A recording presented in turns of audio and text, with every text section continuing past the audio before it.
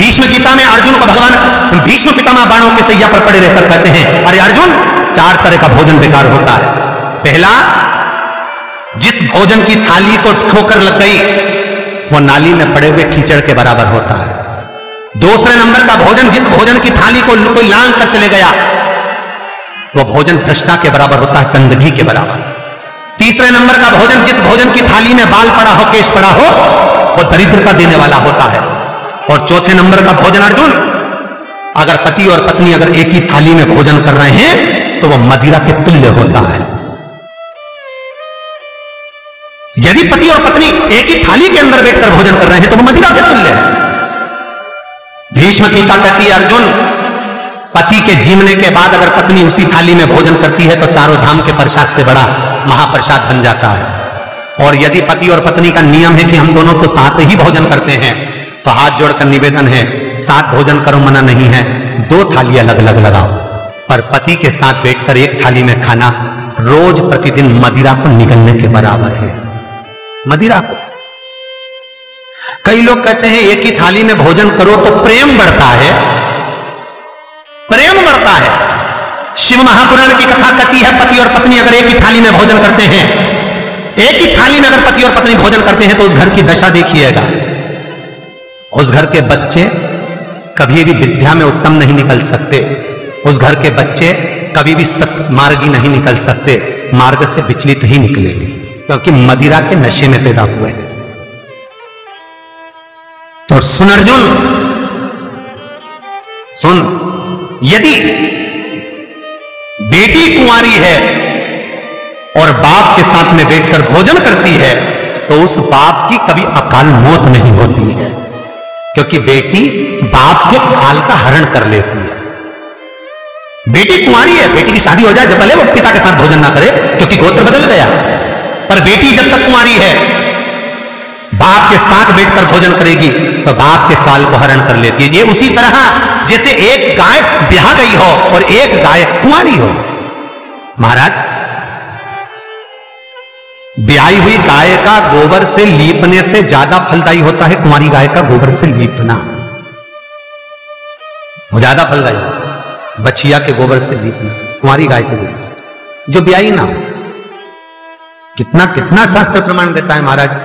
कई लोग दुखी भी हो रहे होंगे आज हमारी कथा सुनकर कि भगवान गुरु जी, आपने कह दिया कि एक थाली में भोजन मत करो, और हम तो इतने साल से करते हुए आ रहे हैं, और अलग अलग करेंगे, और ऐसा और वैसा। कई लोग तो चैनल ही बंद शिव महापुराण की कथा कहती है, यदि आप भगवान विष्णु के मंदिर गए हो, सत्यनारायण भगवान के मंदिर गए हो, राम मंदिर गए हो, कृष्ण मंदिर गए हो, दत्त मंदिर गए हो, किसी भी देवता के मंदिर में जाते हो, वहाँ का प्रसाद आप पंद्रह दिन, बीस दिन तक रख सकते हो पर शंकर का प्रसाद रात भर नहीं रखा था क्यों?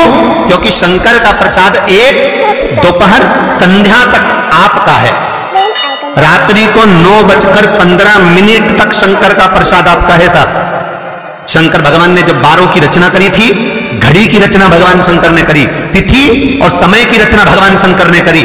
एक एक घड़ी एक एक पल एक एक तिथि एक एक नक्षत्र समय पल सबकी रचना शंकर करे हमारे हर एक वीडियो से। सबकी रचना से इसीलिए तो शास्त्र कहता है ना लिंग पुराण वर्णन करती है, नर्मदा पुराण करती है शिव महापुराण की कथा करती है। जब व्यक्ति को कोई भारी रोग हो जाता है, कोई कैंसर जैसी बीमारी हो गई, कोई किडनी ही खराब हो गई, कोई लीवर ही बेकार हो गया, कोई बड़ी बीमारी हो गई तो आप किसी ब्राह्मण से पूछेंगे कि पंडित जी हमको शंकर भगवान का अभिषेक करवाना है, कौन सा टाइम करवाना चाहिए? तो उसका भी समय शिव महापुराण निश्चित करती है, उसका भी समय हमारे लिंग पुराण निश्चित करती है, उसका भी समय नर्मदा पुराण निश्चित करती है।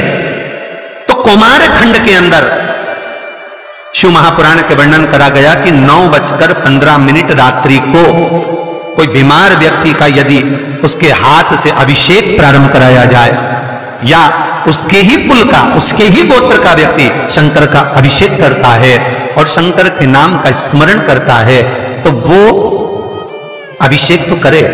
साथ में जो मनोरथी है, यजमान है, वो महामृत्युंजय मंत्र का जाप करे। तो कहते हैं, रोग समाप्ति की ओर आना प्रारंभ हो जाता है। रोग समाप्ति की ओर आना। रोग समाप्ति की ओर पहुँचना भगवान शंकर।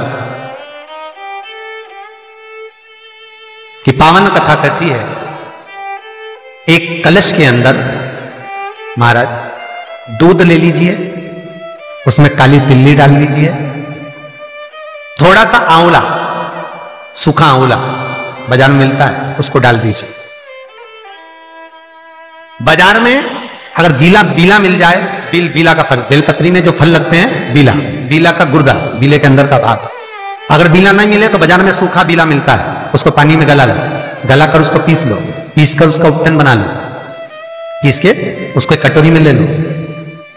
उस उपटन को, जल के पात्र को, जो व्यक्ति घर में बीमार रहता हो या जिसको बुखार ज़्यादा चढ़ रहा हो, उतर नहीं रहा हो, निमोनिया जैसी बीमारी हो, बड़ी से बड़ी बीमारी भी अगर आपको घेरी हुई है तो आप अपने हृदय चित्त से स्पर्श कराकर, कोई पलंग पर खड़ा हो तो उसका हाथ का स्पर्श करा जो स्वस्थ है, उसके ऊपर से उतार कर, भगवान शंकर को ले जाकर, वो बीले का उपटन शिवलिंग पर लगा दे और जो जल है, वो शंकर जी को समर्पित करें। कौन सा मंत्र बोलना है? उस मंत्र का स्मरण आप सब प्रेम से करें। ओम जितने टीवी के सामने बैठे सब बोलिए, ओम जूम जामे ऊ की मात्रा अम की बिंदी, जूम सहा, सा दोहा की बिंदी, सहा, ओम जूम सहा, ओम जूम सहा। इस मंत्र का जाप करते हुए जो दूध चढ़ा देता है, उपटन लगाकर उसकी बीमारी, उसका रोग समाप्त हो जाता है। बहुत ध्यान देना। उसी चढ़ाए हुए जल को, दूध को, उस उपटन के भाग को थोड़ा सा ले आइए। जिस बच्चे को निमोनिया की बीमारी है, जिसका बुखार नहीं उतर रहा हो, उसके मस्तक पर लेपन कर दीजिए, हृदय चित्त पर लगा दीजिए। महाराज, उसके बाद में उस बच्चे को वस्त्र से, गीले वस्त्र से पोछ दीजिए, उस वस्त्र को झटकार दीजिए, बच्चे का बुखार 10 मिनट के अंदर उतर जाएगा। ये कभी भी कर सकते हो, ऐसा कोई दिन निश्चित नहीं है, कोई तिथि निश्चित नहीं है, जब बुखार आए। जब स्वास्थ्य ज़्यादा गड़बड़ हो जाए, तब करिए। मंत्र का जाप करते हुए, ओम हूम ओम जूम सह। इस मंत्र का बस स्मरण करना है। ओम जूम सह।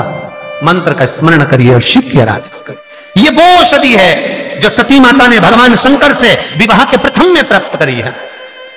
यदि कहीं से पाँच मुखी रुद्राक्ष मिल जाए और पाँच मुखी रुद्राक्ष को तांबे के कलश में जल भरकर उसमें डाल दो। किसी चम्मच से उस रुद्राक्ष को निकाल लो आधे घंटे डालने के बाद। महाराज, शमी का एक पत्ता शमी पत्र और शमी का एक पत्ता ले जाकर शमी पत्र को ले जाकर, शिवलिंग पर रखकर पाँच मुखी रुद्राक्ष का जल अपनी कामना कर कर